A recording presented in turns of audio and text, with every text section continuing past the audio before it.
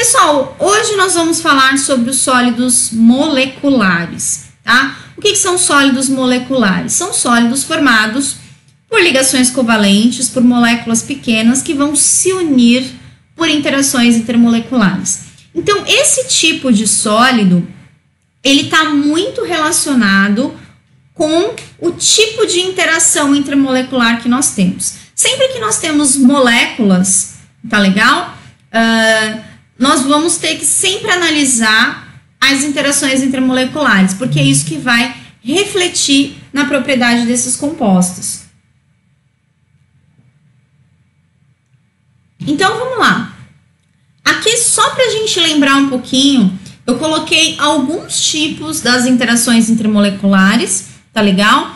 Mas se vocês tiverem dificuldade, é, nós temos aula aí no canal específica de interações intermoleculares, no qual vocês vão ver tudo isso que eu tô falando agora com mais detalhes, tá? O objetivo agora é só é, fazer, na realidade, um, um resumo para que a gente possa se situar um pouquinho e discutir alguns exemplos é, que eu coloquei para vocês aqui, tá bom?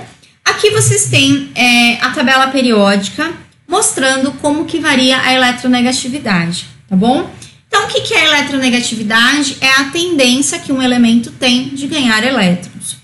Os gases nobres, que são essa última coluna que está representado em vermelho, não apresentam eletronegatividade, porque não realizam ligações químicas. As ligações químicas estão relacionadas com a tendência, né, com ganho ou perda de elétrons, portanto, eles não apresentam eletronegatividade.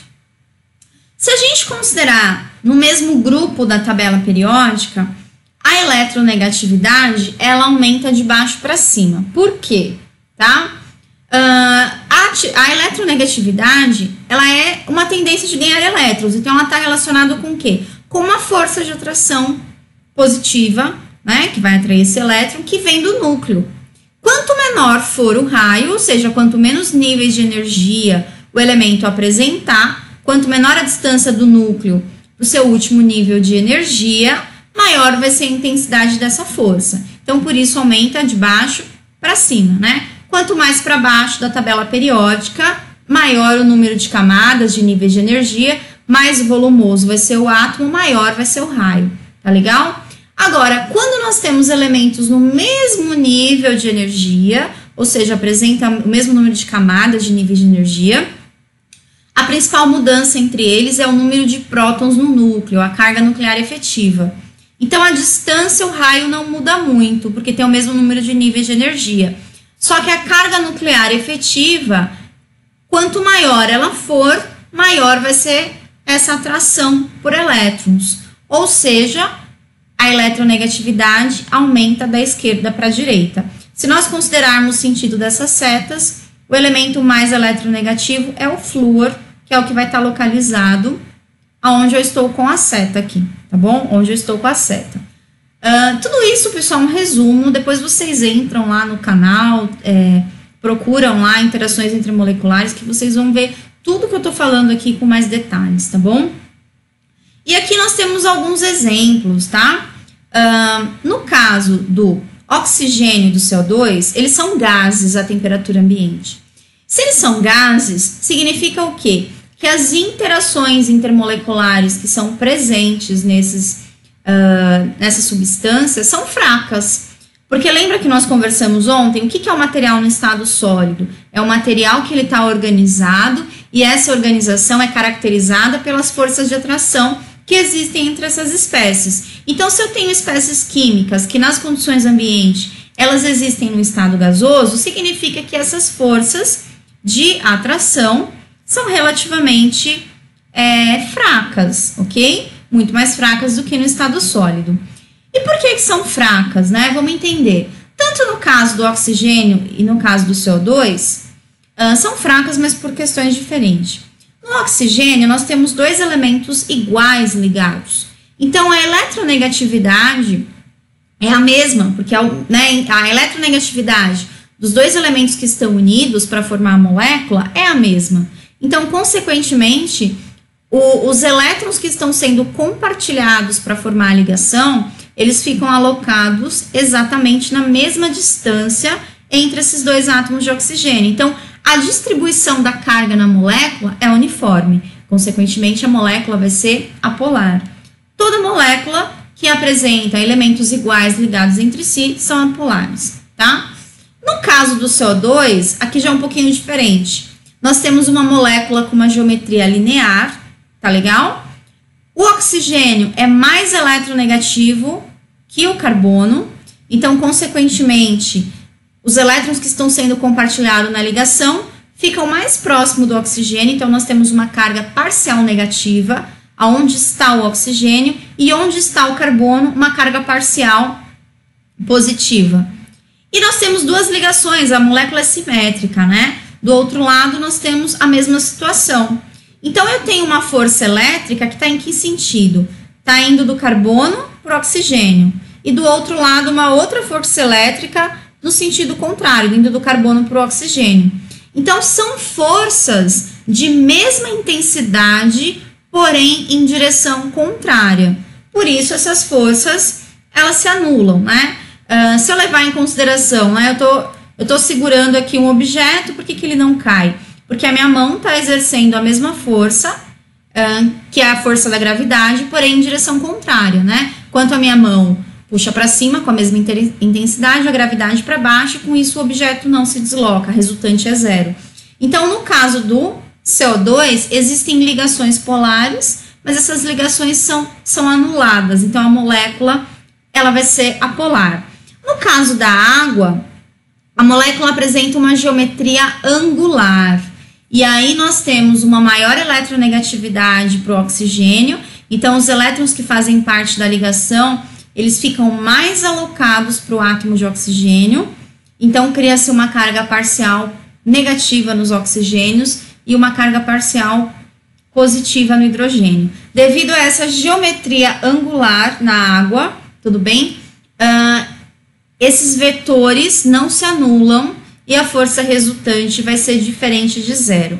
Então, para a gente verificar se uma molécula é polar ou apolar, o que, que a gente precisa definir? A diferença de eletronegatividade entre os átomos ligantes, esse é um ponto importante, tá bom? E a geometria. Então, essas são duas coisas que nós precisamos né, é, ter para determinar se uma molécula vai ser apolar ou polar.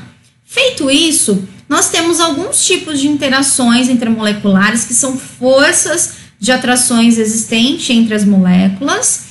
Uh, eu não coloquei todas aqui, mas eu coloquei algumas que são interessantes para nós entendermos os materiais sólidos que são formados por moléculas, tá bom? Então, esse é o, é o objetivo aqui, eu não coloquei todas, não, tá?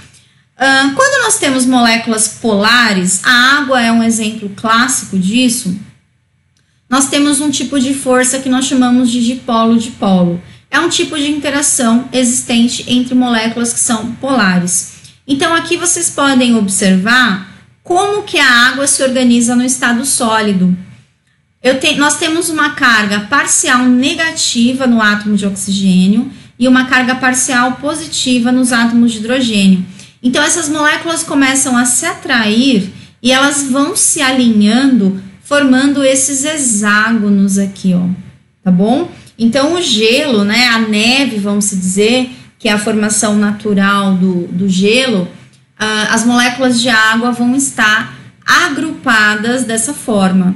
E esse agrupamento está relacionado com a geometria da molécula e com o tipo de interação que existe entre as moléculas. Então, esses materiais vão se alinhando eu não sei se alguém aqui já teve a oportunidade de, de ver um cristal de gelo, né, de neve, de verdade, mas ele tem um formato muito semelhante de um hexágono, porque está relacionado com a maneira né, é, como essas moléculas se organizam, tá? E essa organização depende das interações intermoleculares.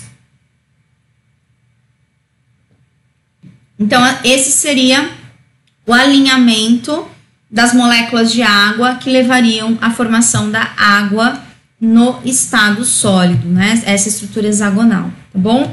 E aqui eu também coloquei mais dois tipos de interações para a gente entender um pouquinho, que são as forças de London, ou de Van der Waals, ou forças de dispersão, vocês encontram isso com vários nomes diferentes, tá legal? Esse tipo de força de London é um tipo de interação intermolecular existente quando nós temos moléculas apolares. São só moléculas apolares uh, que apresentam esse tipo de interação? Não. Todas as moléculas vão apresentar as forças de London, mas elas são o único tipo de força intermolecular existente nas moléculas apolares, tá bom? O que, que é essa interação de London? Vamos supor, pessoal, que nós temos duas moléculas, vamos imaginar um gás, tá bom? Pode ser oxigênio, nitrogênio, por exemplo. Vamos imaginar que eu tenho nitrogênio num cilindro, ok? O nitrogênio ele é apolar. E aqui nós temos essas bolinhas aqui estão representando cada uma uma molécula de nitrogênio. Quando essas moléculas, vamos supor que eu apliquei pressão nesse cilindro, então eu estou comprimindo essas moléculas no cilindro. Se eu estou comprimindo essas moléculas, eu estou forçando que essas moléculas entrem em contato entre si. Forçadamente elas vão entrar em contato, tá? Então, essas duas moléculas são apolares e elas vão se chocar. Quando essas moléculas se chocarem, nós temos um fenômeno que é muito semelhante ao que eu havia comentado agora há pouco, que é a polarizabilidade, que é a distorção da nuvem eletrônica. Se eu considerar o átomo, a molécula, como essa esfera, existem elétrons nessa molécula. Quando essa molécula se choca com uma molécula vizinha, esses elétrons se repelem. E aí o que, que acontece? Os elétrons que estão totalmente distribuídos nessa esfera, eles vão migrar para o lado oposto, ok? Então, os elétrons estavam todos aqui distribuídos, muito bem distribuídos nessa esfera e aí eles vão migrar para o lado oposto. Então, uh, essa região onde os elétrons ficaram alocados é uma região de carga negativa. E essa região aonde os elétrons né, migraram, vamos dizer, de onde eles migraram, né, a, a, a localização original aqui deles fica positiva porque fica deficiente de elétrons. E com isso, nós geramos cargas na, na molécula, né? E essa carga é decorrente de um desequilíbrio momentâneo dessa nuvem eletrônica. E aí eu gero uma força de interação fraca. E essa força de interação ela é causada pelo choque entre essas moléculas. Então, todas as substâncias que são apolares, elas apresentam esse tipo de interação. É claro que nesse exemplo que eu dei para vocês, eu, tô, eu dei um exemplo de um gás, mas poderia acontecer, por exemplo, com uma molécula maior, como um óleo, uma gordura, tá? E aí, nessas moléculas, como nós temos, são moléculas grandes, a superfície de contato dessa molécula é maior, então essa distorção da nuvem eletrônica é mais significativa. Então, quanto maior for a molécula, quanto maior for a superfície de contato dessa molécula, mais esses elétrons vão se distorcer e vão gerar pequenas cargas na estrutura, tá? Toda molécula pode apresentar esse tipo de interação, tá legal? Mesmo as moléculas que são polares, mas elas são, as moléculas que são apolares apresentam apenas esse tipo de interação. E nós temos também as ligações de hidrogênio. As ligações de hidrogênio são as forças de interação intermolecular mais fortes que existe, tá bom? Uh, e essas ligações, na realidade, elas ocorrem quando nós temos o hidrogênio combinado a um desses três elementos aqui: flúor, oxigênio e nitrogênio. Por quê? Porque esses três elementos são muito eletronegativos e o hidrogênio é muito pouco eletronegativo. Então, nessa ligação, como esses elementos são muito eletronegativos, há um grande deslocamento dos elétrons para próximo desse elemento criando uma carga parcial uh, negativa, tá legal? Onde estão esses elementos, e uma carga parcial positiva no hidrogênio. As substâncias que apresentam esse tipo de interação normalmente apresentam um ponto de ebulição maior, uh, porque são as interações mais fortes. Como nós estamos falando de materiais é, sólidos, eu coloquei um exemplo aqui do nylon, que é um polímero, na realidade. Então, o nylon, se vocês observarem, as cadeias das moléculas do, do polímero, elas se organizam, elas se alinham por meio de, de ligações de hidrogênio. Então, veja, Aqui eu tenho um nitrogênio ligado a um átomo de hidrogênio. Então, esse nitrogênio ele está carregado negativamente e o hidrogênio está positivo. E aí ele vai atrair um oxigênio pertencente a outra molécula vizinha. E aí essas moléculas começam a se organizando, a se alinhando é, por conta uh, da presença das ligações de hidrogênio. Então é interessante quando nós estudamos polímeros, por exemplo, que são materiais é, sólidos, né? Uh, formado por cadeias é, carbônicas enormes. E aí nós temos que lembrar que o quê? Que as moléculas que apresentam carbono e hidrogênio, né? A região das moléculas orgânicas que apresentam carbono e hidrogênio, uh, praticamente nós não temos diferença de eletronegatividade, né? Lembram do exercício quando nós falamos do, da posição do hidrogênio na tabela periódica? Que a sugestão era que o hidrogênio fosse alocado na família do carbono, porque as propriedades dele é muito semelhante às propriedades periódicas desses elementos. E a eletronegatividade praticamente é a mesma. Então, moléculas que têm carbono e hidrogênio são apolares. As moléculas orgânicas, como são grandes, elas vão ter regiões polares e apolares. Então, uh, normalmente, quando nós temos polímeros, tá? uh, que não apresenta nenhum grupo polar, oxigênio, nitrogênio na estrutura, a tendência é que esse material ele vá, ele vá ser um material mais amorfo. O que, que é o um material amorfo? Um material que não apresenta organização. E quando nós temos a presença de grupos polares, como oxigênio, nitrogênio, a possibilidade de realizar ligações de hidrogênio na estrutura, o material tende a ter uma cristalinidade maior. O que é o material cristalino? O material cristalino é um material que é mais organizado. E para ter organização, eu preciso ter interação. Então, as ligações de hidrogênio no nylon, na realidade, ela começa a alinhar as cadeias e isso vai conferir uma certa cristalinidade, uma certa organização para a estrutura, tá? Não vou dizer que o material é 100% cristalino, mas, mas promove um alinhamento dessa, dessas cadeias e isso vai refletir nas, na propriedade dos materiais, tá? Então, pessoal, para que a gente possa entender as para que a gente possa entender as propriedades uh, dos sólidos que são formados por moléculas, as interações intermoleculares é um ponto chave, tá? Aqui eu falei um resumo bem breve mesmo. Se vocês tiverem interesse em aprender mais, acessem a aula que eu falei Vou deixar depois o link aí na, na descrição, tá? Mas é importante que vocês saibam isso. Aqui nós temos alguns exemplos, né? Como que as propriedades físicas dos sólidos dependem realmente das interações intermoleculares. Então, por exemplo, a parafina, né? O que, é a parafina? É um material que apresenta uma cadeia carbônica longa e é praticamente um hidrocarboneto, um alcano tá? Um material que tem carbono e hidrogênio apenas na estrutura. Então, um material totalmente apolar. Se apolar, as forças de interações são fracas, ok?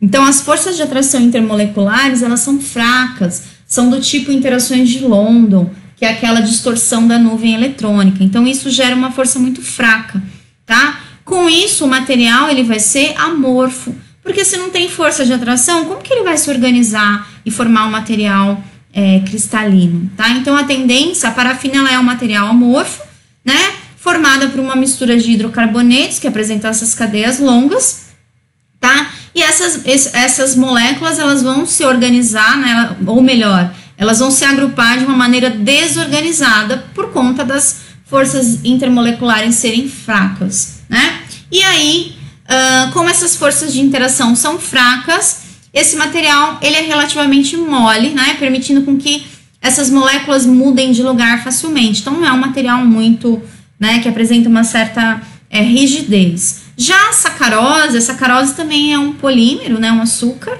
tá?